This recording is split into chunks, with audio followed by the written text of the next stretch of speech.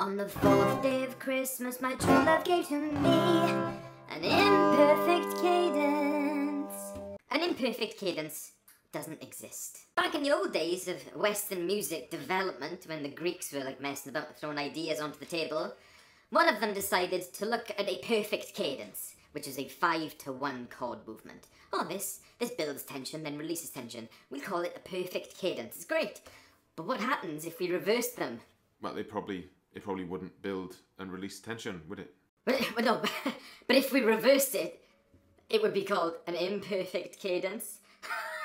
Yeah, okay, Clive, you carry on. Uh, wait, we we can't do that. It's not gonna. It doesn't really have a purpose. Yeah, just let Clive have this. It's not going to catch on. Well, it did catch on. And now lots of people think that an imperfect cadence is something that you have to understand.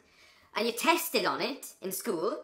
What is this? What is this, everyone? Class, listen to this. What is this cadence?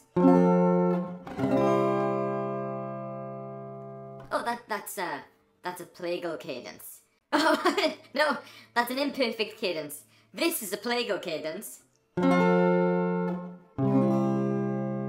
Yeah, but yeah, but they're the same chords. But they they've got different names. Yeah, but but the every note moves exactly the same way into the next one, and it resolves the tension in the same way that a plagal cadence would.